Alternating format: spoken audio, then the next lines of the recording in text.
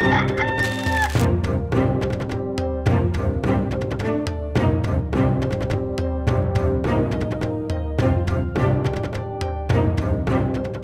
was on the 7th of September 1854 that I took my findings to the town officials. I wanted to convince them to remove the handle from the water pump in Broad Street, thereby making it impossible to draw water. At first, they did not believe me, but eventually they agreed to remove the handle from the pump for a trial period.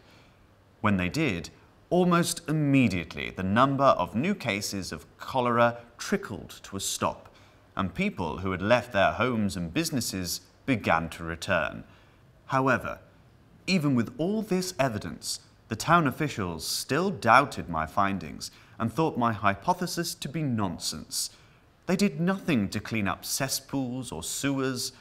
The Board of Health even issued a report stating that they could see no reason to adopt my belief and fobbed me off, stating that my evidence was nothing but mere suggestion.